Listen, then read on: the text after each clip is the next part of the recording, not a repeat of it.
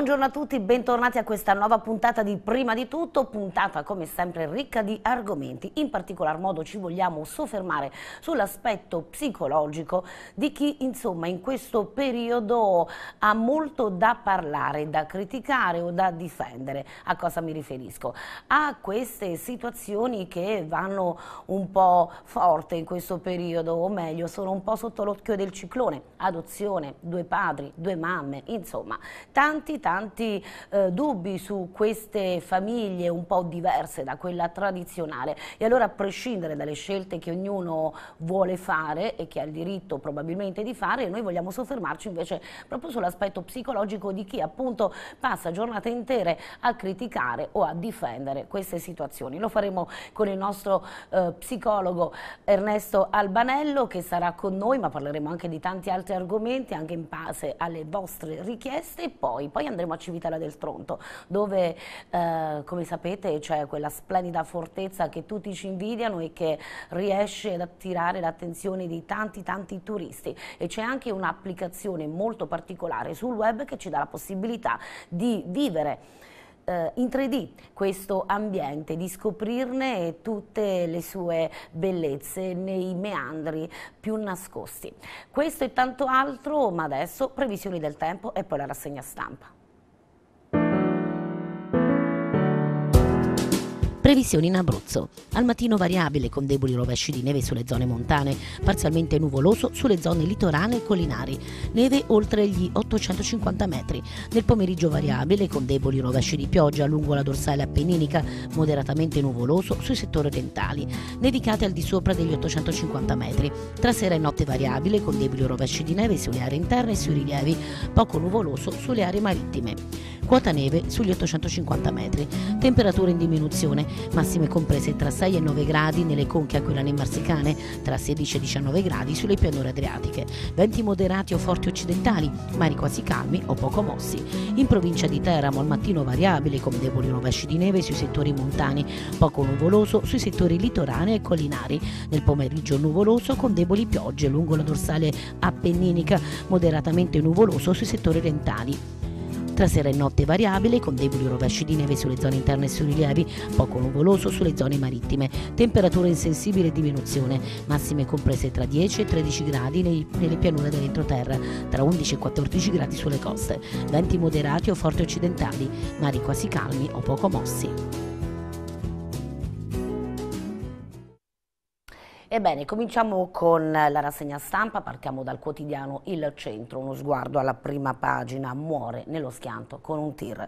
A Treviso la vittima è un ex assicuratore teramano di 61 anni, si tratta di Mauro Galanti di cui vedete appunto l'auto distrutta in seguito all'incidente. E poi Blitz de Nas, cucine da incubo, sigilia, sushi e kebab, una eh, importante operazione dei Nas di Pescara ha fatto sì che appunto cinque tra ristoranti e kebab appunto hanno eh, visto le saracinesche abbassate proprio perché non versavano in buone condizioni igienico-sanitarie. E malato niente alimenti, il giudice esonera l'uomo dal versare l'assegno ai figli, ma naturalmente approfondiremo questo e tanti altri argomenti. Andiamo alla pagina d'Abruzzo adesso, uno sguardo e, eh, insomma per chi deve fare probabilmente probabilmente acquisti d'auto, forse è arrivato il momento giusto perché in regione all'asta ci sono 15 auto e in garage ce ne sono ancora 119, lotto unico da 19.200 da 19 euro, altre 34 saranno vendute o rottamate, in Abruzzo record di macchine di servizio, il comune di Pescara 56 e allora per chi fosse interessato abbiamo un furgone Ducato, una Fiat Punto, una Fiat Stilo, ancora una Punto, una Panda e ancora ancora una Opel, tante Fiat Stilo, un Alfa Romeo, una Land Rover, e, insomma diciamo che ce n'è un po' per tutti i gusti. Poi piano sanitario, urgente il confronto con i medici e quanto chiede l'associazione dei chirurghi ospedalieri. Attività antisindacale condannato Livri, il Tribunale di Chieti accoglie il ricorso del sindacato appunto prof e studenti scuola di web con il progetto Medio Education. Ma proseguiamo con il quotidiano Il Centro e vediamo altre notizie che ci riguardano da vicino. Siamo in questo caso a Chieti, la giustizia della Chiesa celere, vicina e gratuita. Inaugurato a Chieti l'anno giudiziario del Tribunale Ecclesiastico, l'obiettivo è stare vicini ai fedeli che soffrono per il fallimento del matrimonio. E anche qui abbiamo uno specchietto molto interessante che voglio condividere con voi. Esclusione dell'indissolubilità del vincolo, le cause ne sono 46. Esclusione della prole 13, esclusione della fedeltà 2, simulazione totale 1, gravi difetto di discrezione di giudizio 46, incapacità ad assumere gli oneri matrimoniali essenziali 20, poi timore grave 1, per fortuna nessun matrimonio annullato per dolo e nessuno a quanto pare per impotenza. E questo è anche un dato non poco interessante. Imprenditori under 35, oltre 15.000 in attività, Prospero Cocco del Cresa, i giovani mostrano un'incoraggiante volontà di mettersi in gioco. Banca dell'Adriatico, fondi di 300 milioni per gli investimenti ma andiamo adesso alla pagina di Teramo dove troviamo una notizia che riguarda una sentenza. È stato accolto un ricorso di un padre malato e povero non paga gli alimenti. I giudici d'appello lo esonerano dall'assegno ai figli. Le sue condizioni non gli consentono di lavorare. Mi sembra una sentenza obiettivamente più che giusta perché se quest'uomo non ha per l'appunto soldi e non se li può procurare perché non può trovare un lavoro, giustamente non vedo come possa pagare gli alimenti ai figli, ma come ben sapete questi sono sempre casi molto contorti. Caso Noemi, versioni opposte sull'ambulanza attrezzata, la ASL c'è, il sindaco di Atri dice no e insomma c'è appunto tutta una vicenda che ruota intorno al caso di questa bambina. La commissione regionale ha affrontato ieri il caso della nascita di Noemi all'ospedale di Atri nonostante l'ostetricia sia stata chiusa dal primo novembre 2015 e si torna insomma a discutere in merito. La G-Plast emette mini bond per 4 milioni, le acquista la società Tenax Capital Limited. Marozzi, i mercati finanziari hanno fiducia nei nostri piani, quindi continua la eh, scalata per la G-Plast, una probabilmente delle più floride aziende del territorio teramano. E poi ritroviamo la notizia che abbiamo visto in prima pagina, frontale con un tir, muore assicuratore, l'incidente in provincia di Treviso. La vittima è il teramano Mauro Galanti, forse ha avuto un malore alla guida, come vedete l'auto completamente distrutta. E andiamo avanti e si parla di politica e siamo al comune di Teramo. Oggi consiglio comunale, bene le teorie gender possono spaccare la maggioranza. La mozione proposta da Pomante rischia di diventare una trappola per Brucchi nel consiglio di oggi. Parte del centrodestra l'approverebbe e altri sono contro. Probabilmente staremo a vedere e vi riporteremo le notizie come sempre in maniera molto ampia. Vedremo appunto se questa sarà l'occasione per per l'ennesima, diciamo così, lite, non voglio parlare di spaccature, ma insomma di disguidi nel centrodestra. Appello per le prossime elezioni Teramo 3.0, alleanza civica per un vero rinnovamento. Dunque anche a Teramo, nonostante ci sia tempo, si comincia già a pensare alle prossime elezioni. Ripopolamento con le primalate, polemica contro la TC del Salinello. Un cacciatore accusa che fine fanno i tanti soldi che paghiamo? È questa domanda, ovviamente, risponderà chi di dovere. Il dibattito Banca di Teramo da salvare, fusione tra banche di credito cooperative locali per ora è un sogno. L'Adriatico Teramano serve un progetto industriale serio che non c'è. Basciano dice noi per ora stiamo bene da soli e proprio il vicepresidente della Banca dell'Adriatico Teramano, Goriano Lanciotti, a pensare appunto di fondere tutte le banche di credito cooperative locali per creare appunto un'unica banca che potrebbe avere ovviamente sicuramente una potenza maggiore rispetto alle singole. Cineteatro, nuovo pasticcio della Giunta, da Alberto del PD all'attacco. La gara è partita troppo tardi, è stato fatto tutto di corsa e c'è stato l'errore. Il calendario del mese, tutti i controlli con autovelox e telelaser, quindi per star sicuri di non trovare appunto un autovelox potete approfondire l'articolo, vi anticipo che comunque sia questi autovelox saranno installati soprattutto nelle zone di Notaresco, Canzano, Basciano, Montorio, quindi diciamo così nella parte collinare del territorio teramano. A Colle Atterrato veleno per lumache sparso sulla strada, un nuovo caso di veleni sparsi probabilmente dai cittadini, tempo fa ricorderete nei pressi di via Pigliacelli pare che appunto sia stato sparso veleno per topi. La battaglia legale canile, lo zooprofilattico chiede 4 milioni al comune, l'istituto cita l'ente in tribunale per la gestione della struttura di Carapollo, mai pagato niente, accuse sul sovraffollamento, ci sono stati anche 764 cani su una capienza autorizzata di 100. Guerra tra istituzioni, provincia, batte cassa e regione, ridateci 3 milioni per i salari, inviato la diffida per il risarcimento delle somme pagate al personale che dovrebbe passare all'altro ente. Ancora, attore bruciata al via mostra spettacoli sul femminile postmoderno, Teleton in provincia ha raccolti quasi 14.000 euro, una ricerca sulle malattie generiche. E poi Pista lungo il Vibrata, lunedì l'incontro con 50 proprietari. Si terrà ad Alba, presente da Alfonso, per cercare un accordo che tagli i tempi. Pollastrelli, i ritardi non sono colpa nostra. Un albergatore di Martinsicuro a processo per violenza sessuale spunta un altro reato. Via della Vittoria, negozianti divisi sul senso unico invertito ad Alba Adriatica e poi, sempre nella stessa città, IMU stabiliti i valori dei terreni, arrivano le regole per il calcolo, si punta a recuperare l'evasione.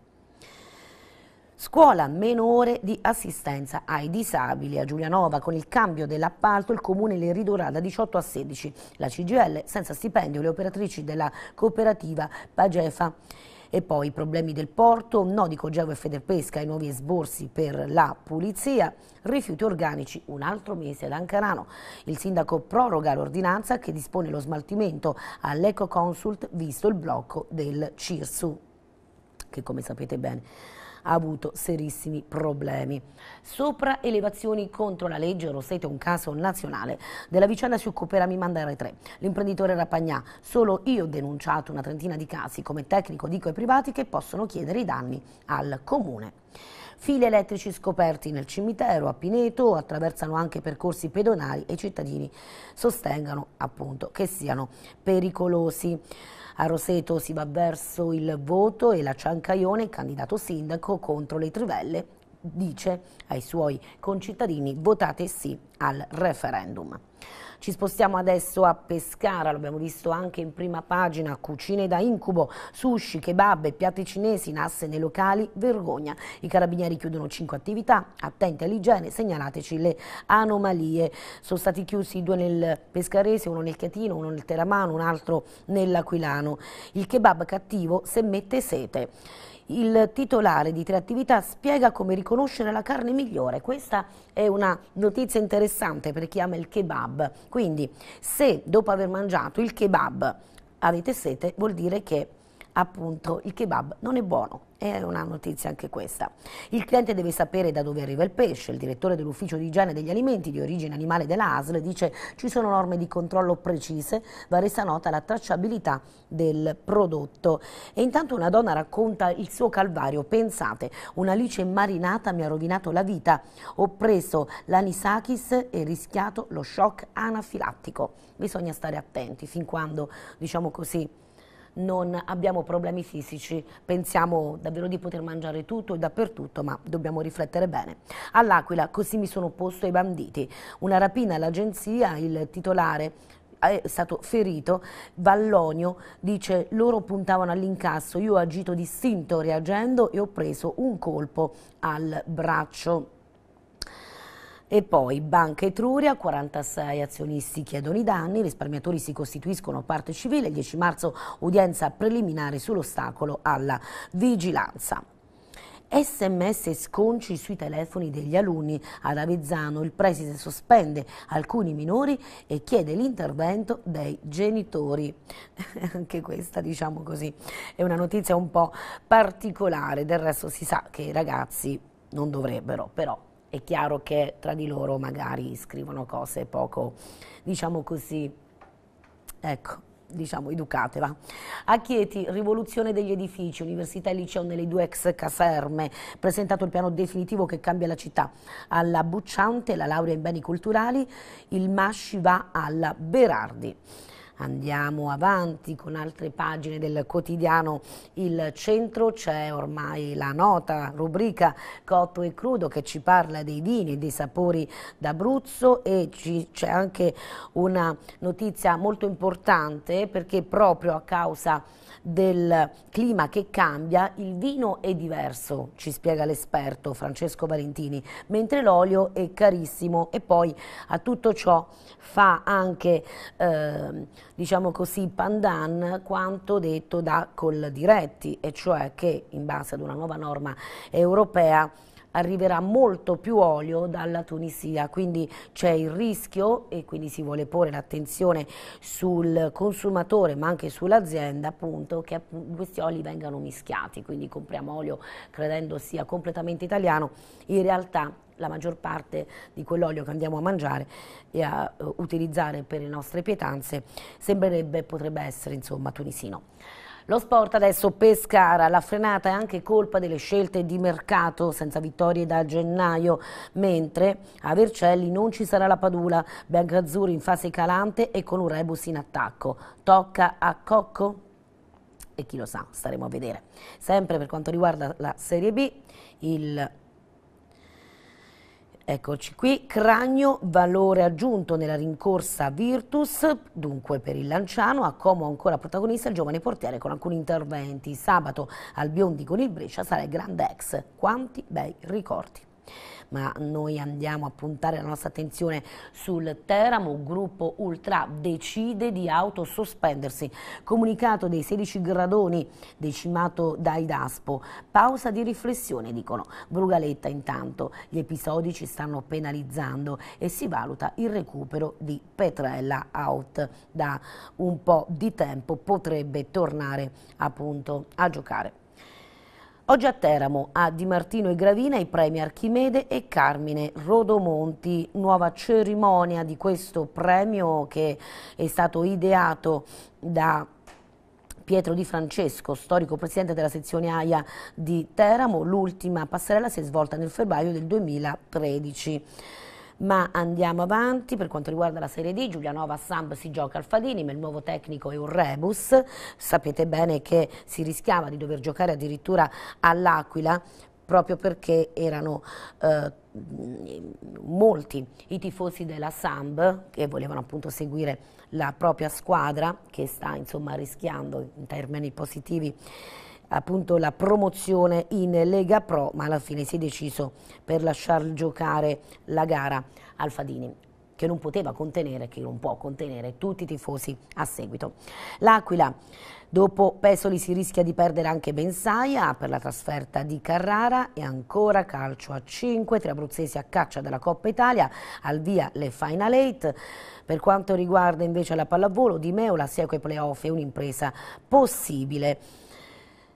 Perfetto, lasciamo così il quotidiano Il Centro.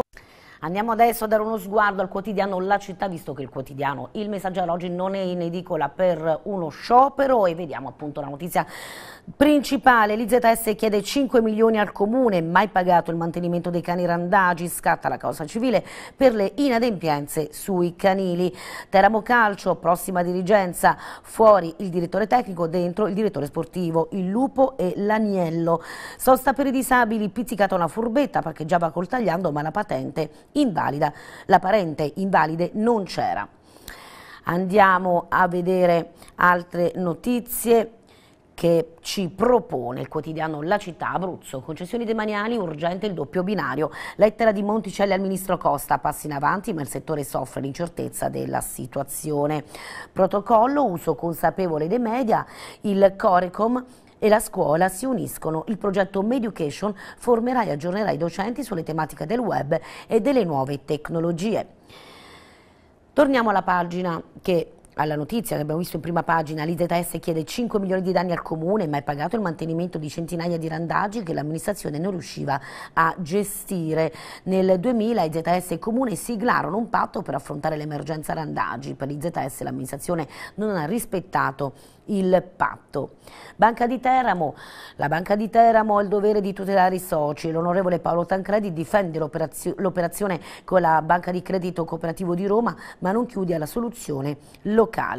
E poi ci sono chiaramente diverse prese di posizione. Ad Alfonso dice sono perfettamente d'accordo con lui, la terramanità della BCC va difesa e tutelata in ogni modo. Alla De Paulis fa bene a ricordare il glorioso passato della BCC, ma ora lo scenario è cambiato e molto più complesso.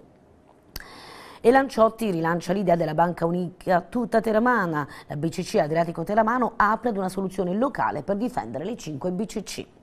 Cronaca muore nello schianto contro un camion, Mauro Galanti, 61enne teramano, perde la vita tra le lamiere della sua Alfa distrutta in un fosso. Pizzicata una furbetta del cartellino per invalidi, impiegata esponeva il contrassegno sul parabrezza, ma la parente invalida non c'era mai, multata dalla polizia municipale. Sushi e kebab nel mirino dei carabinieri del NAS, nuovi controlli insieme all'ASL nei locali etnici per verificare norme igieniche e sicurezza degli alimenti, chiuse cinque attività. E poi cineteatro, no l'ennesima procedura pasticciata da Alberto Contrario alla trattativa privata con la Sorti di Velletri dopo i guai del bando di gara del Comunale. Appello civico 3.0, né con Brucchi né con il PD. Il movimento che sostenne l'arancione pomante chiama raccolta le forze alternative a centrodestra e centro-sinistra. Dunque no a Gatti e Tancredi, no a Renzi ed Alfonso. Giustamente vogliono gareggiare, come si suol dire, da soli e pensano alle prossime elezioni. Sanità svelato il nuovo look del pronto soccorso, conclusi i lavori per limitare i disagi e creare un clima più adatto per accogliere e assistere i pazienti. Donne e contraddizioni nel mondo postmoderno, presentata in provincia la mostra organizzata dalla CPO di Teramo e allestita dall'associazione Art E. Nuovo capo di imputazione per l'albergatore accusato di violenza e ancora un PRG degno del Paese delle Meraviglie a Tortoreto. Daniela Mignini attacca sui progetti presentati da Tortoreto, bene comune. Ad Alba Adriatica la Piccioni redistribuisce le deleghe agli assessori. Le manifestazioni passano ancora di mano e vanno al vice sindaco Tonelli. La G-Plus nel mondo dell'alta finanza, la società di Marozzi emette 4 milioni di euro di mini bond. E poi arrivano i tagli per l'assistenza scolastica qualificata, allarme dei sindacati sul nuovo appalto bandito dall'ambito sociale tordino.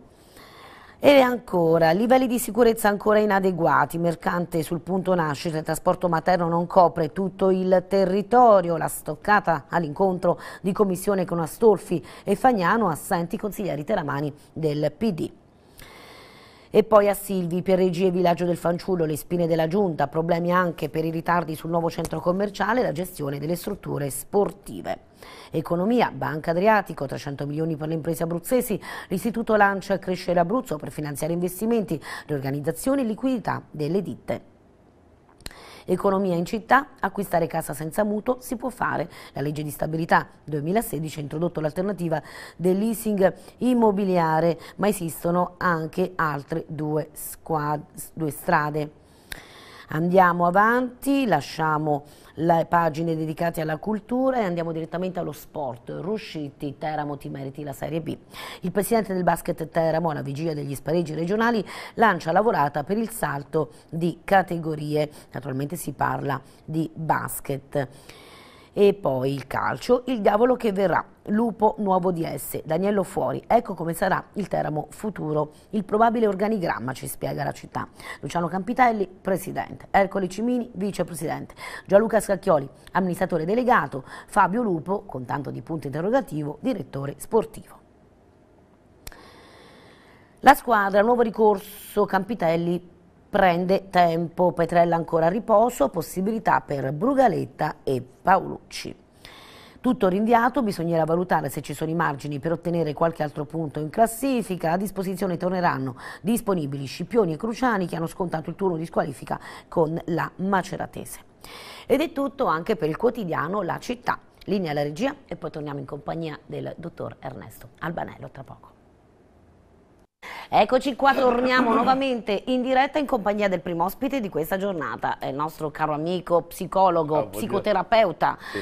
dottor Ernesto Albanello, buongiorno e bentornato. Buongiorno. Dunque, col dottor Albanello, l'ho detto a principio, vogliamo affrontare diversi temi. Intanto ce n'è uno che se vorrà, anche se faremo in tempo, il, il, il dottor Albanello affronterà, che è quello della famosa teoria gender. Perché? Perché è un argomento di cui si parla tanto, oggi approderà nuovamente anche in Consiglio Comunale comunale a Teramo, quindi insomma un argomento molto sentito e dibattuto, ma credo che in pochi abbiano veramente compreso di cosa si tratti e quindi cercheremo anche di fare un po' di chiarezza in questi termini. Ma un altro argomento volevo affrontare con lei, un argomento molto delicato che in qualche modo diciamo va a braccetto col discorso della teoria gender. Allora, in questo periodo, e allora noi, come si suol dire, restiamo alla moda, hm? dovunque si, eh, si guardi, si parla in tv, sui social, eccetera, di questi eh, matrimoni gay, di queste adozioni da parte di due genitori. Ovvio che il caso Vendola ha veramente creato un sacco di reazioni polemiche o a difesa del, del politico, del noto politico eh, pugliese. E allora, la domanda è, ora, su questo argomento sarebbero tanti gli argomenti che potremmo trattare, anche dell'aspetto psicologico di un figlio che ha due mamme o due papà, eccetera. Magari poi ci arriviamo. Però una domanda mi viene spontanea. Per quale ragione, a suo parere, dottor Albanello, in questo periodo, ecco, non si fa altro che parlare di questo argomento? Cioè, è vero che è un argomento trattato, però è anche vero che se ne parla forse un po' troppo o se ne parla troppo poco? Insomma, perché adesso l'attenzione degli italiani è tutta puntata solo e esclusivamente su questi argomenti? Beh, mi verrebbe da pensare che effettivamente i tanti problemi di carattere eh, emergenziale eh, vengono ad essere messi un, un, tantino tacitati e questo è un tema eh, che può essere diciamo, sotto i riflettori perché chiaramente eh, porta, eh, è un argomento che porta ancora di più l'opinione pubblica a potersi dividere, a potersi misurare, a potersi confrontare. Effettivamente altri e stringenti sono i problemi, ma non è che questo lo sia meno. Eh, diciamo che è stato un problema forse eh, inopportunamente trascinato per troppo tempo. Diciamocelo chiaramente, insomma. Il fenomeno della convivenza, e qui non parlerei di convivenze omosessuali o eterosessuali, ma la convivenza in quanto tale è, un, diciamo, è, è una consuetudine che si è andata via via sempre più eh, consolidando, per cui era evidente che eh, lo Stato in fondo cosa deve fare? Lo Stato deve eh, governare dei comportamenti, cioè deve sostanzialmente normare delle linee che poi non sono più procrastinabili eh, in termini di eh, di giurisdizione e quindi voglio dire è evidente che ehm, un, eh, un, partner che si trova nella condizione di essere assistito eh, ha bisogno che l'altro eh, solo convivente possa eh, occuparsi di lui, ripeto, etero o omo che sia. Quindi sotto questo profilo penso che non ci sia nulla da aggiungere. Ehm, poi ci sono tanti altri fenomeni, insomma, su cui varrebbe la pena di fare delle sottolineature. Eh, qui eh, c'è un forte problema, a mio parere, io leggevo qualche giorno fa, ecco, non credo che sia fuori dal, dal seminato quello che sto dicendo, la provincia di Teramo sembra che sia la più anziana d'Europa. Cioè ci vogliamo fermare un attimo a riflettere su questo punto? La più anziana d'Europa. Che significa? Significa che nostre, eh, la nostra età media si sta spostando moltissimo sì. nella fase involutiva. Questo significa eh, quindi che non c'è un ricambio e, e, e, qualcuno, mi pare un, un docente dell'Università di Teramo, sottolineava che eh, questo genere di, eh, eh, di, di fenomeno è, chiaro che ehm, disincentiva l'economia ad occuparsi della provincia di Teramo, perché se invecchia è evidente che non, non eh, mostra, non manifesta, non, non attiva fenomeni diciamo, di attenzione verso questa realtà territoriale. E quindi bisognerebbe anche chiedersi perché tutto questo accade. E lei prima faceva un riferimento rispetto a quello che è stato il comportamento del, eh, del presidente, dell'ex presidente della regione Puglia, eh, ehm, che senza dubbio mh, mm, eh, induce a tutta una serie di considerazioni, di riflessioni, di attenzioni, però mh, diciamo specularmente dovremmo anche tener conto di quanto spesso i datori di lavoro sono piuttosto diciamo, eh, ehm, attenti e prudenti quando una lavoratrice potrebbe eh, andare in maternità e tutto quello che questo può comportare. E allora dico, eh, guardiamo, guardiamo, bene la realtà. No, la eh. sua eh, riflessione però mi lasciava pensare che mentre fino a qualche tempo fa il datore di lavoro aveva questo problema no, con le donne, questa donna prima o poi mi va in maternità, beh, adesso probabilmente anche davanti agli uomini si porrà lo stesso problema, potrebbe andare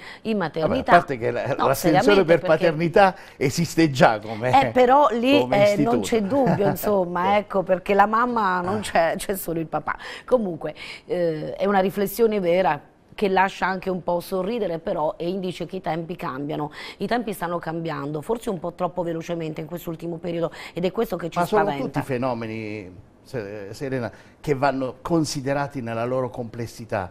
Ecco, pensiamo al fenomeno dell'immigrazione. Io da tempo vado riflettendo che certi fenomeni se accadono sono sempre il riflesso di una serie di comportamenti.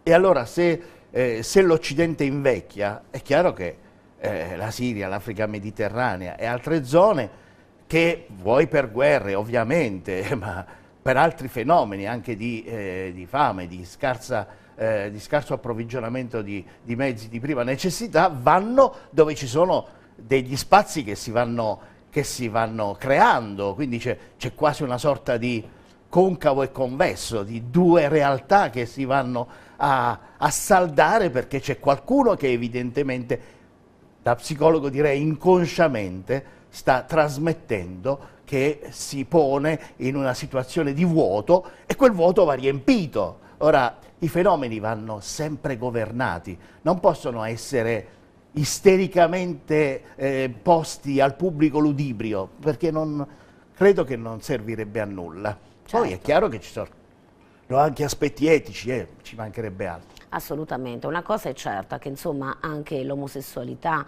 eh, c'è sempre stata e che prima non si, non si metteva in pubblico, si la si teneva per sé, quasi fosse una colpa, quasi fosse una malattia e poi si è capito probabilmente che non lo è è uno status insomma, poi vabbè ci sono tante eh, diciamo, spiegazioni che adesso sarebbero anche troppo diciamo così importanti e complicate, ma comunque bene o male sappiamo per quale ragione insomma eh, accade che una donna si senti uomo e un uomo si senta donna, insomma. Ci sono tante eh, problematiche, Beh, siamo... però è pur vero dottor Albanello che io immagino se una nostra nonna no, tornasse oggi sulla terra resterebbe basita, io credo, no?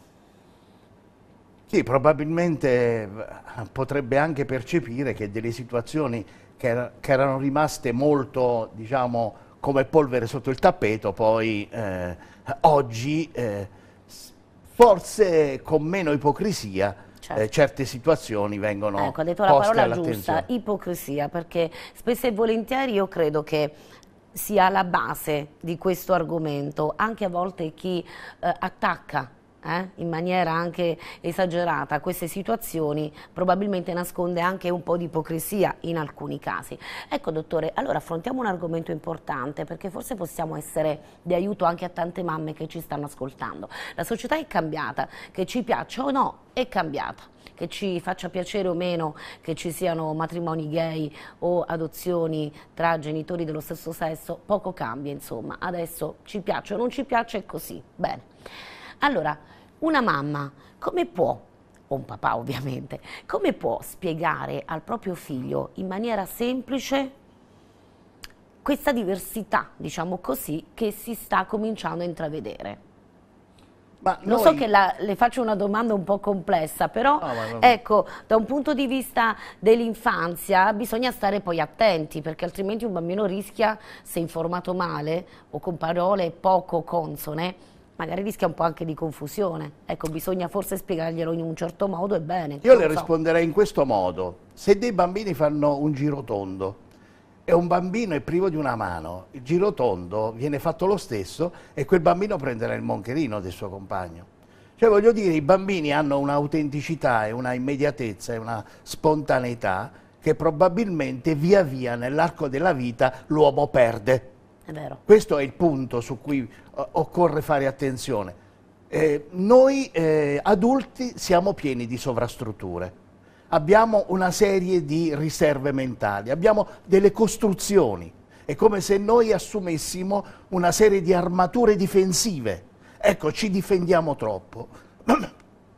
Ci sono dei fenomeni che sono assolutamente percepiti come naturali, come conseguenti, perché poi le cose non accadono così eh, d'amblè all'improvviso.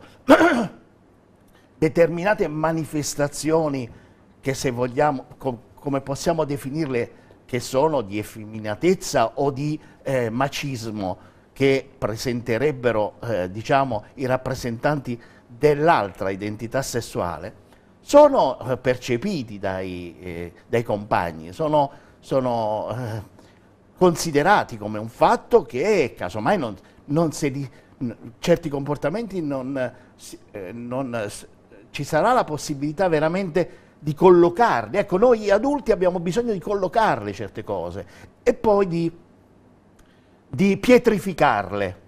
E, e, il bambino, ma anche l'adolescente, lo, lo, vive come un fatto che eh, fluisce, come, come un, un, processo... La società è cambiata, eh, tu prima dicevi, ma il cambiamento c'è sempre. Certo. Diciamo che che è come, io dico sempre, come un fiume di montagna che, che a noi è trasparente, che noi lo guardiamo e sembra che quell'acqua sia ferma. In realtà non è mai ferma. Allora se, se tutto in natura cambia non capisco perché la società eh, debba mettere dei punti d'arresto. Siamo noi che dobbiamo sentire determinati cambiamenti come processi inesorabili e lo Stato cosa fa? Governa i cambiamenti, eh, dà una dà una impostazione, una, una copertura, una, una, diciamo, un'accoglienza giuridica a dei fenomeni che sono nel corso del, degli eventi. Certo, insomma. però è pur vero che quando si accusa, un domani questi bambini accuseranno quei bambini, insomma li eh, metteranno un po' da parte oppure li tratteranno male, è pur vero che si dice ma sarà colpa eventualmente dei genitori perché non hanno capito e non hanno saputo spiegare a questi figli che questi bambini tra virgolette, prendiamo con le pinze la mia affermazione, un po' diversi rispetto alla massa, un domani probabilmente sarà il contrario, insomma, no? È un po' come fino a qualche decennio fa eh, la pecora nera in una, eh, in una classe di bambini era il bambino con i genitori separati o divorziati. Oggi probabilmente il contrario, probabilmente la pecora nera è quello che ha mamma e papà che vanno d'accordo da vent'anni, insomma, sembra una cosa pazzesca, quindi per questo le cose poi cambiano, ecco, davvero. Come vedi ti sei già data la risposta. Sì, certo. Però... In realtà ci sono io mi occupo di emozioni da un po' di tempo e devo dire che insomma noi abbiamo una particolare emozione che viene costantemente alimentata dalla, da una, un certo mediatore eh, che è nel nostro cervello e che, eh, e che ha come elemento centrale di richiamo e di puntualizzazione la paura. Noi pensiamoci un attimo, se noi costruiamo e approfondiamo e riflettiamo su quanto assume un connotato, un significato la paura, noi poi ci diamo la risposta a tutto perché la paura fa scatenare atteggiamenti difensivi. E, e, noi da che cosa ci difendiamo? Ci difendiamo da una nostra necessità di dover costantemente eh, diciamo, ri, eh, riallocare il nostro modo, la nostra identità, il nostro modo di essere a situazioni mutevoli. In realtà, eh, in realtà dovrebbe essere l'esatto contrario, perché la mutevolezza eh, scatena la curiosità, la curiosità eh, sviluppa l'esplorazione, l'esplorazione mette il soggetto a continuare ad essere un elemento creativo. E allora perché tutto questo? In fondo eh, è come se noi pretendessimo di pietrificarci eh, quasi con le nostre mani perché in fondo in fondo ci piace che tutto rimanga eh, eh, immutabile. Eh sì, perché insomma quando tutto resta com'è non c'è il rischio Ripeto, di nulla. senza con questo nulla togliere evidentemente dei, dei principi morali, etici che vanno certo. comunque, certo. comunque, tenuti presenti perché è evidente che ci sono poi una serie di eh, valutazioni, di considerazioni che non non voglio qui assolutamente mettere da parte. Allora facciamo un passetto più in là e allora approfittiamo, dottor Albanello, per parlare di questa ormai nota teoria gender. Dunque, qualche settimana fa un mesetto fa forse all'incirca, se ne è parlato tanto proprio perché c'è stata un'iniziativa del consigliere regionale Paolo Gatti appunto sul vietare questa, mh, mm, questa, questo trattamento della teoria gender nelle scuole, ma la buona scuola, la nuova riforma dice che bisogna trattare questo argomento, ma penso che la massa non abbia capito neppure di che cosa si stia a parlare, ma intanto visto che lei si è ben documentato e forse ci può dare una mano e visto che questo argomento verrà trattato anche oggi all'interno del Consiglio Comunale di Teramo con un'interrogazione del consigliere Gianluca Pomante che salutiamo, allora questa teoria gender innanzitutto che cos'è? Ma non è. Non è, ecco, questo è il, il problema. Il punto è che non è. cioè si parla contro una cosa che non esiste. Scusate ma mi pare francamente che, che non potrei... Allora andiamo a vedere il famoso testo della legge 13 luglio 2015, numero 107. Dice all'articolo 16, il piano triennale dell'offerta formativa assicura l'attuazione dei principi di pari opportunità, promuovendo nelle scuole di ogni ordine e grado l'educazione alla parità dei sessi, la prevenzione della violenza di genere e di tutte le discriminazioni. E qui ci siamo. Eh, tutto finisce lì. Ah, tutto qua. Tutto qua. Beh. Cioè questo è il passaggio che avrebbe alimentato in alcune rispettabilissime eh, forme organizzate che ritengono che tutto questo, da tutto questo possa evincersi il fatto che l'educazione alla parità dei sessi ma perché vogliamo per caso eh, disconoscere Beh, che assolutamente. i sessi debbono Sono state lotte eh, importanti, sangue tra versato, tra poco ci sarà la, la giornata donna, della donna, Beh, la giornata della la giornata, donna, eh, precisiamolo, giornata, perché giusto. fu proprio una, mi pare, un'industria americana che fu, che certo. fu chiusa sì. eh, e, fu, e, le persone arsero vive, donne. Donne, dentro, e eh. da qui nasce ecco. appunto questa Allora, la parità dei sessi. Parità cosa... dei sessi e ci siamo mi sembra giusto insegnarla a scuola, siamo tutti uguali, maschi e femmine. A meno che si vuol pensare che questa parità dei sessi venga intesa diversamente. E torniamo al discorso precedente. Poi... Non so che dire. Eh, non saprei. Francamente, eh, noi penso che mh, dovremmo più eh, opportunamente, più adeguatamente considerare che attraverso questa triennalità di piano di cui parla la legge 107 si voglia fare un, un riferimento a tutta quella che è una, uno stile di comportamento all'interno delle classi che potrebbe eh, diciamo, materializzarsi in eh, molestie, in atteggiamenti bullistici, in fondo in tutto ciò che può avere a che fare con eh, qualche cosa che sa di macismo e in fondo eh, crea eh, il terreno fertile a, a dei fenomeni assolutamente eh, raccapriccianti come, come quello poi nelle estreme conseguenze del femminicidio. Quindi voglio dire, se noi non andiamo, mi è sembrato di capire che l'articolo 16 voglia mettere in, in, in chiaro questo, se noi eh, non facciamo in modo che attraverso la scuola eh, eh, vada a, ad essere, a essere suscitato negli adolescenti e nei bambini il senso del rispetto e il senso della dignità eh, dell'altro da te, è evidente che tutto questo eh, produce un terreno da far west per tutti quelli che sono dei comportamenti eh, del forte contro il debole. Non, non saprei altrimenti cosa dire. Basta. Beh, quindi in pratica è una teoria che non esiste. No, perché non è, non è definita, non è, non, non è individuata. Si, si, parla di contro qualche cosa. Ma... Certo, allora c'è un sms per noi, o meglio per lei, la società è cambiata in quanto gli individui vivono le proprie insoddisfazioni personali come, spun come spunto di ostilità verso il prossimo, anziché quale elemento di comprensione. Ciò si proietta sui nostri figli, creando un arrivismo fatto di cose futili e scarsi valori culturali. Noi ormai senza più virtù.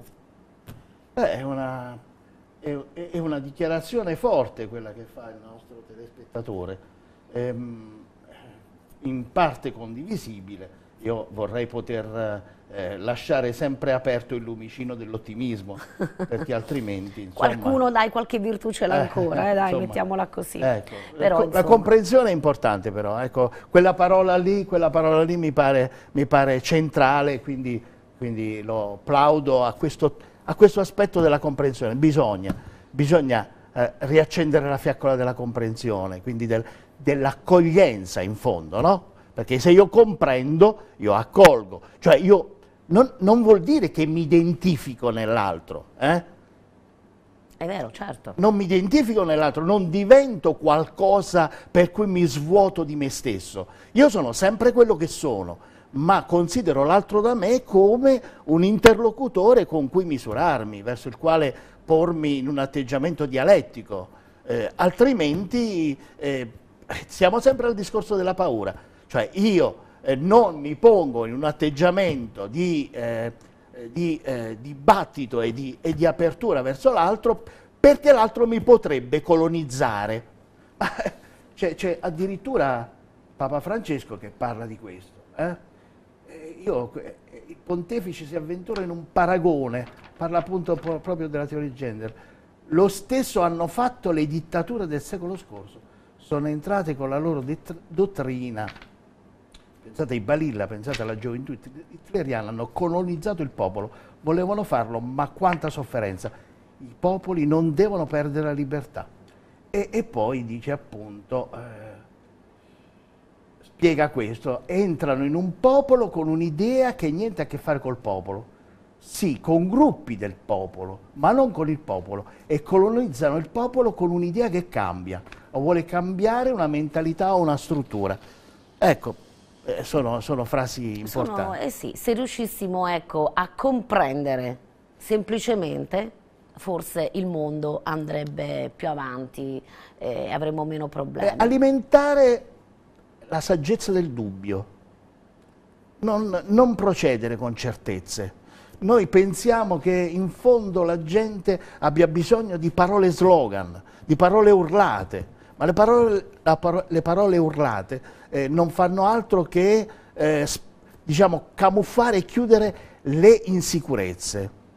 Eh, ma poi rimane il vuoto, poi rimane, poi subito dopo viviamo in una situazione no? di, eh, di, problemi che vanno comunque eh, elaborati, visti, approfonditi certo. e quindi le parole urlate non credo che produca. Assolutamente no, assolutamente no. Bene dottore, io spero di essere stati utili no? anche ai nostri amici a casa perché eh, diciamo ah. che si vive in un periodo un po' diverso rispetto a qualche anno fa. E forse perché appunto le menti si sono un po' aperte, e si ha anche il coraggio di parlare, di, di dire, ecco fino a un 5-6 anni fa mai nessuno avrebbe detto anche in pubblico sono gay, sono omosessuale, eh, amo da uomo gli uomini. Oggi eh, allora, dice?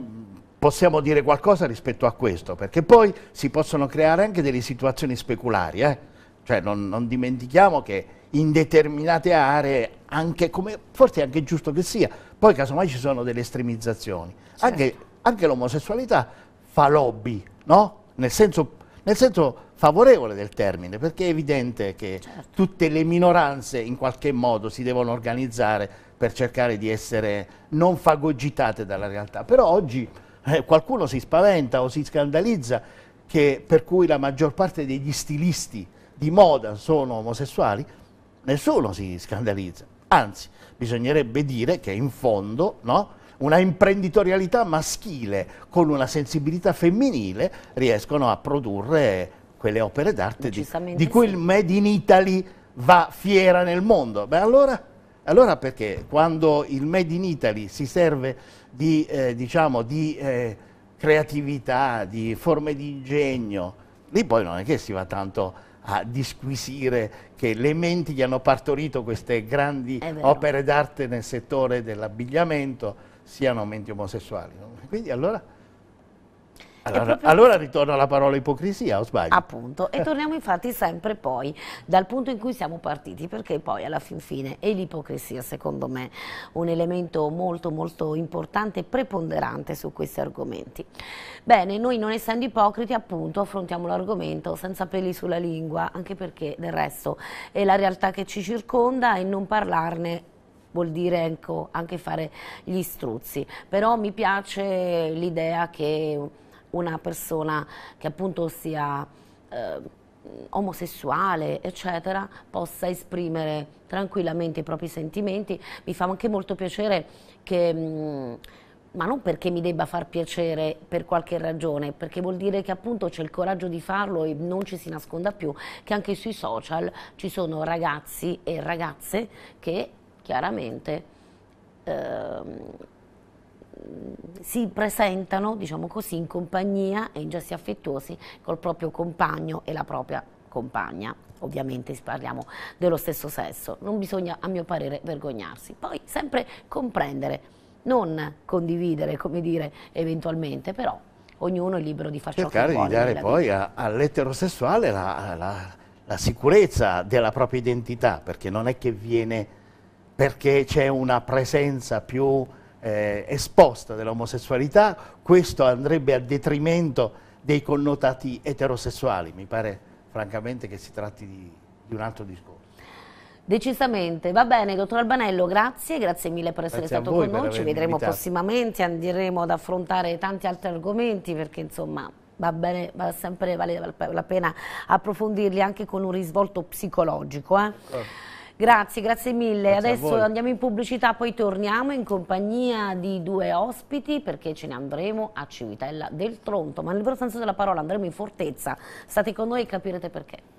Eccoci qui nuovamente in diretta in compagnia degli altri due ospiti, due assessori di Civitella del Tronto, ve li presento subito, Riccardo De Dominici, assessore alla Fortezza, buongiorno, Salve, buongiorno e benvenuto, e Gabriele Marcellini, assessore al turismo, al bilancio, insomma tante deleghe, ma in questo caso ci piace considerarlo assessore al turismo, perché?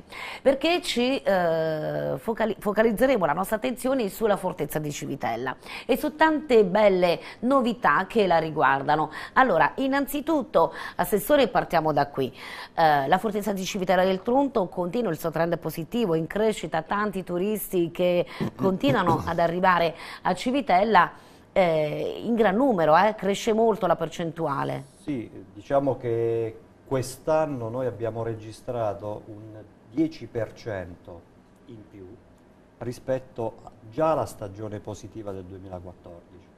Ormai abbiamo superato i 45.000 visitatori e da quando ci siamo insediati noi nel 2013 il trend è eh, con un incremento complessivo del 22%. Sono numeri importanti anche perché purtroppo diciamo, le condizioni di crisi economiche eh, che stanno attanagliando ovviamente non solo l'Italia, eh, un po' tutto il mondo, non favoriscono certamente il consumo di beni culturali, quindi è un dato che va letto in duplice veste, quindi sia, eh, ripeto, positivo di per sé, ma anche positivo per il fatto che gente comunque investe, eh, tira fuori dei soldini per poter visitare la nostra fortezza. Però viene spontaneo dire era ora, perché questa fortezza splendida, meravigliosa, forse è stata per troppi anni, diciamo così, abbandonata dal sì, diciamo che dal 2009 ha avuto un, purtroppo un crollo verticale, siamo tornati a 30.000 vis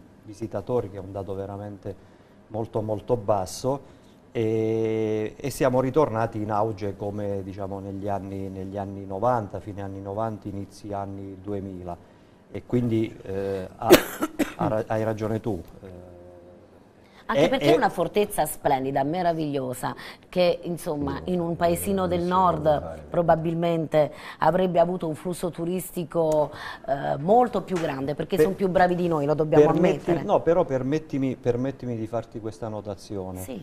Eh, se eh, si prendono i dati ufficiali del Ministero dei Beni Culturali e quindi delle sovrintendenze, ad esempio eh, Gradara, che è il famosissimo castello di Paolo e Francesca, sì.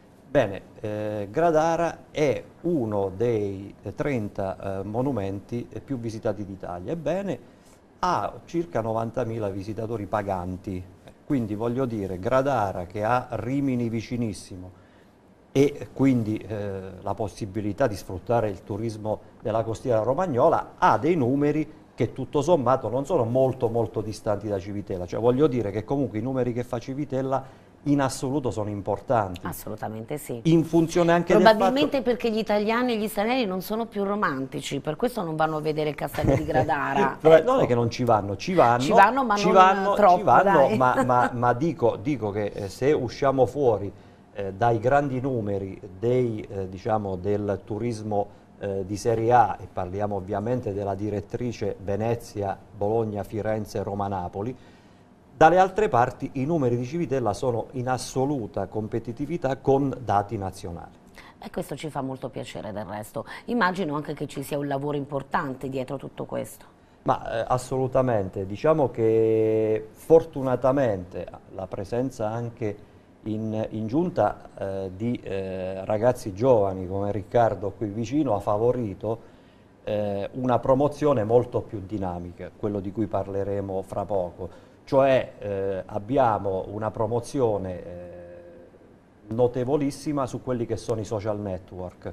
Civitella, eh, mi, piace ricordarlo a una distanza, vinse a livello nazionale il titolo di borgo più bello d'Abruzzo noi facciamo parte dei borghi più belli d'Italia, certo battendo eh, Città Sant'Angelo, cioè una città di 15.000 abitanti, noi siamo 5.000. Beh, però non c'è paragone. Sì, diciamo però siccome si usa il televoto, ovviamente, non stiamo parlando ovviamente in termini di bellezza, non me ne vogliono gli amici ecco, di, appunto, di Città Sant'Angelo. volevo eh, dire, Io infatti. feci una battuta, forse anche felice l'anno scorso, per me era un casello autostradale, cioè lo, lo, lo identificavo come casello autostradale. In realtà il borgo è molto bello. In realtà ha un borgo poi sopra che magari poco conosciuto, molto bello, molto però bello. La fortezza è la però Civitella insomma, e Civitella, eh, non solo fortezza, anche il borgo sottostante è un'autentica unicità diciamo, in, in, Italia. Per cui cioè, abbiamo vinto il borgo più bello, abbiamo partecipato alla trasmissione, ma soprattutto, ripeto, ehm, eh, quello del Virtual Tour è una innovazione assoluta perché fare una cosa negli interni dei musei è cosa che da qualche anno sta funzionando, certo. ma farlo su una fortezza di 25.000 metri quadrati, di mezzo chilometro di lunghezza, completamente o quasi completamente all'aperto, ovviamente è qualcosa di unico, tanto ecco. che la società che ha realizzato, diciamo, proprio ci è venuta anche per promozionarsi, non solo per promozionare eh certo. noi, ma anche loro perché sanno che è un prodotto che eh, sarà anche vanto loro, non è solo chiaro. di Civitella del Tronto. Decisamente sì. Poi dirò ancora che non ci limiteremo a quello, eh, prossimamente presenteremo alla stampa, una volta realizzato, il virtual tour del centro storico. Quindi non ci, non ci fermiamo alla fortezza, eh, faremo anche il virtual tour, quindi sarà un modo per magari rivederci se Assolutamente la, sì, la, con molto molto la piacere. pazienza ci mancherebbe di, altro. di sentirci nuovamente. Ma poi il territorio abruzzese, in particolar modo della provincia di Teramo, deve essere in qualche modo esaltato e se non lo facciamo noi che siamo i media locali, eh, chi dovrebbe certo. farlo? Dunque, Assessore Dominicis, abbiamo accennato a questo virtual tour. Allora, tra poco riusciremo a vedere anche di cosa si tratta, ma cerchiamo di spiegarlo almeno in teoria e poi vedo un aggeggio sì. accanto a lei. Spieghiamo un po' tutto. Il Virtual Tour è essenzialmente eh, la possibilità di vedere eh, l'interno della fortezza tramite delle foto scattate a 360 gradi in senso orizzontale e in senso verticale. Ciò vuol dire che c'è la possibilità di avere mm, essenzialmente una, un, come avere un casco con dentro la fortezza di Civitella, quindi a seconda di come giro la testa ho la possibilità di essere proprio dentro la fortezza. Ora questo è possibile eh, vederlo, verificarlo insomma, ehm, sul, um, sul, sito della fortezza perché c'è il virtual tour e da PC semplicemente muovendo il cursore del, del, del, mouse posso spostare la visuale da destra a sinistra, dall'alto verso il basso proprio come eh, eh, fossi proprio lì dentro. E questo lo faremo tra poco e faremo vedere anche ai nostri amici a casa cosa Molti si può fare appunto col computer? Molti conosceranno quella specifica cosa perché è essenzialmente la stessa tecnologia che utilizza Google per Street View.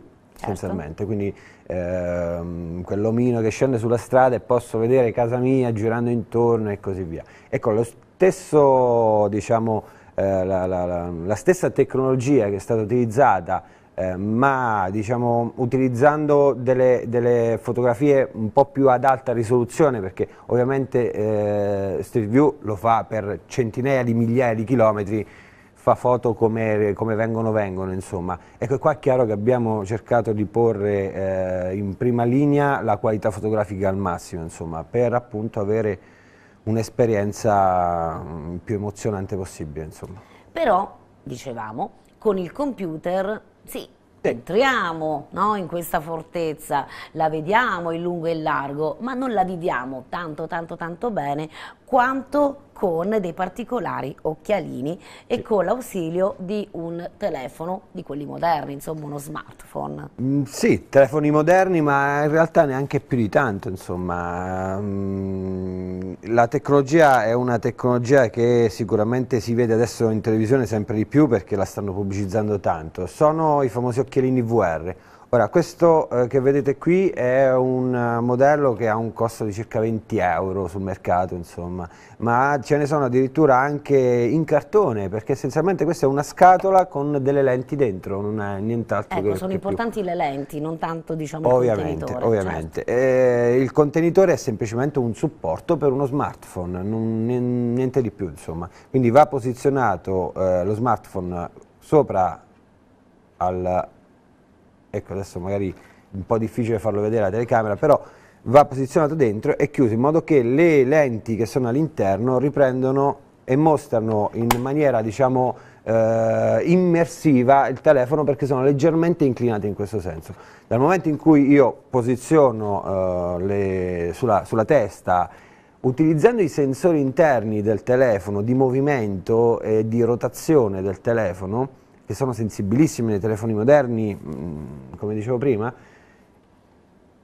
verifica, il cellulare verifica come io muovo la testa e a seconda di come muovo la testa fa sì che sono dentro la fortezza di Civitella e quando muovo la testa nella realtà fondamentalmente ho la vista della fortezza che si sposta insieme a me e questo fa in modo di essere esattamente dentro la fortezza. Ecco, quindi se noi camminiamo, camminiamo anche all'interno della fortezza. Se guardiamo in su, guarderemo in su ciò che è appunto eh, sopra di noi e così via.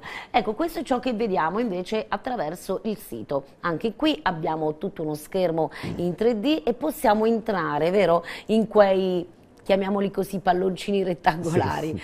Ecco, entrando in quei eh, riquadri andiamo a inserirci in un altro ambiente, corretto? Esattamente, esattamente. Eh, ogni, ogni, riquadro che vedete lì, ogni icona che vedete lì è un luogo della, della fortezza appunto visitabile. Eh, visitabile non, eh, ripeto, non eh, semplicemente una foto statica, ma immersiva, cioè nel senso che è possibile appunto essere dentro la fortezza a 360 gradi in tutti i sensi è una fotosferica, come, come, si chiama proprio in gergo, cioè certo. vuol dire che è un pallone che ci avvolge e sta al di fuori di noi, insomma.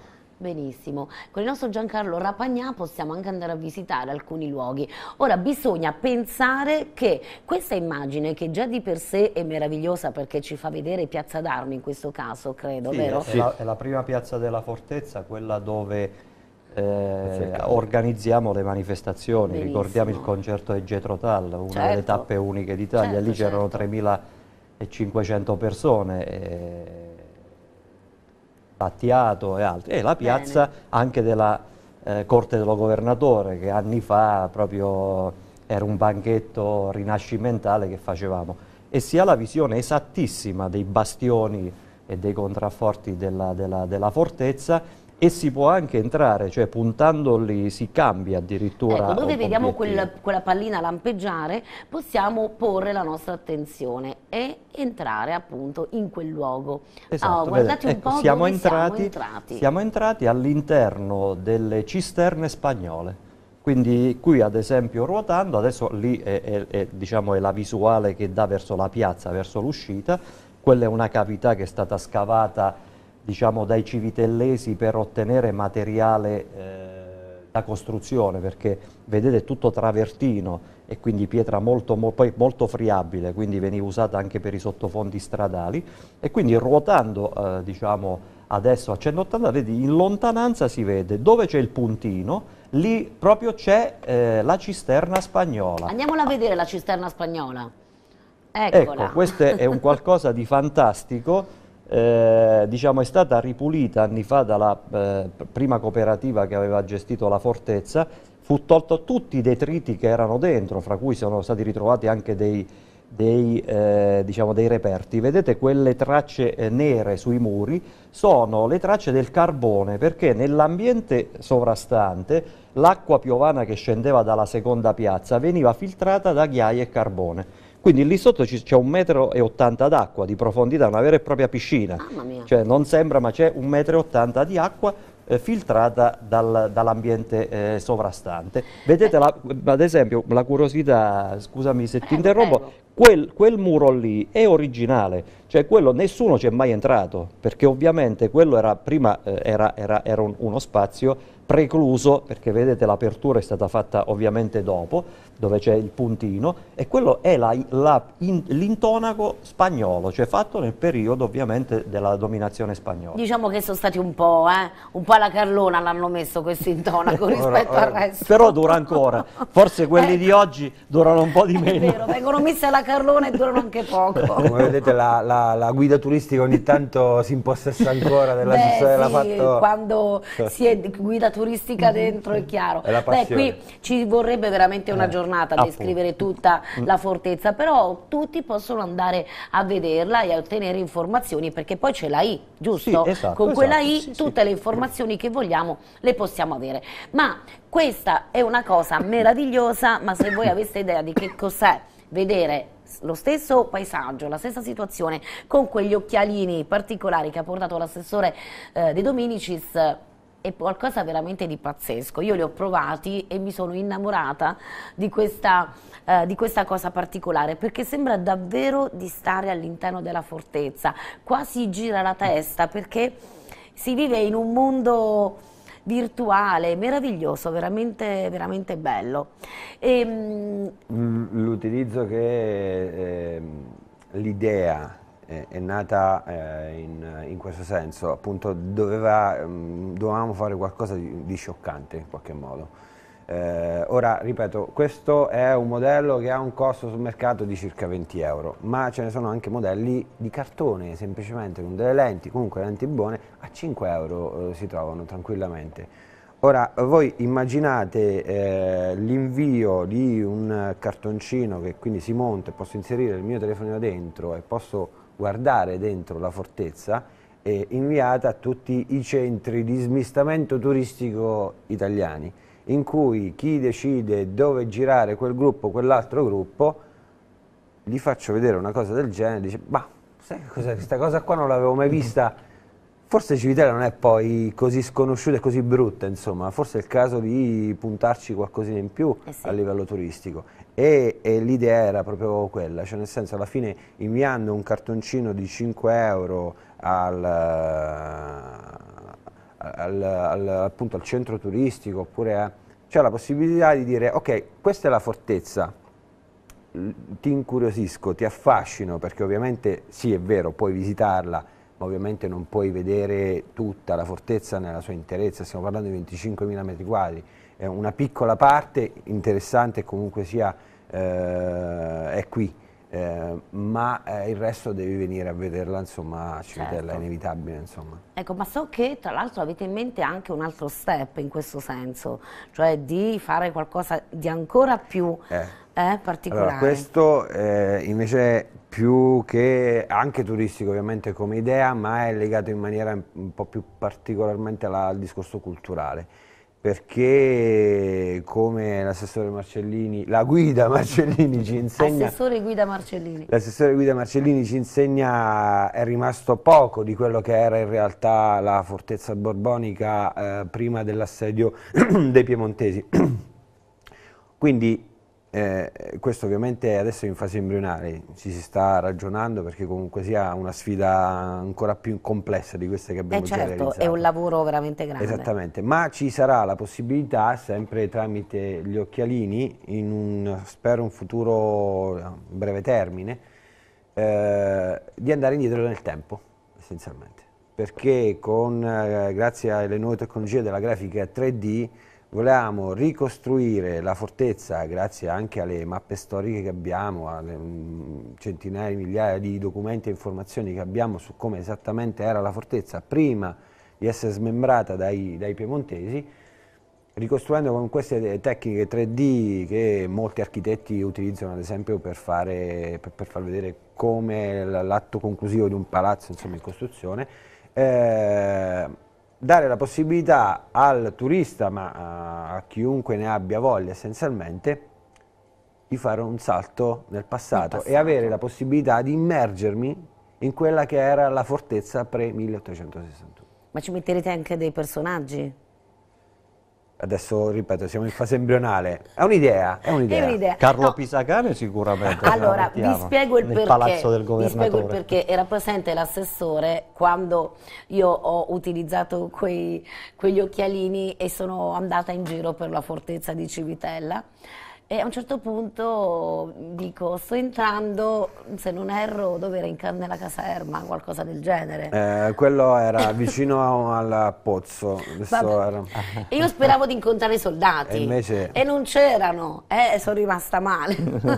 Scherzi a parte però, sarebbe simpatico ecco, incontrare anche diciamo, dei personaggi. Oh, Adesso eh, non so, forse quel, poi io sono Quello esagerata. che si sta facendo vedere ecco, sono, proprio, andata, pare, sono proprio, le caserme, sì, sono ecco. i quartieri militari. E speravo di incontrare incontrare qualche soldato. Faremo incontrare, faremo ecco. anche quello. Sare, sarà carino, non so, magari poter... Boh. No, no, ma siccome è una ricostruzione, quindi è un rendering eh, 3D di quella che era la fortezza, abbiamo tutti i dati, anche le misure, peraltro prese dagli austriaci, quindi insomma essendo tedeschi Beh, sono sicuramente precisi alla, al millimetro, ma non scherzo, no, le mappe sono ancora... È chiaro, sì, no, no, quella essendo... esatto, esatto, la, la, vita militare ecco. della fortezza, perché la fortezza come dice la parola, non è un castello, aveva una vita militare certo. eh, molto molto pregnante. In realtà è molto più semplice fare ciò che stai dicendo tu, cioè nel senso prendere un attore e farlo vestire con degli abiti epoca, che ne abbiamo anche tantissimi tra l'altro, eh, veramente la cosa molto complessa è la ricostruzione eh, in grafica 3D quello, di quello che conto. era,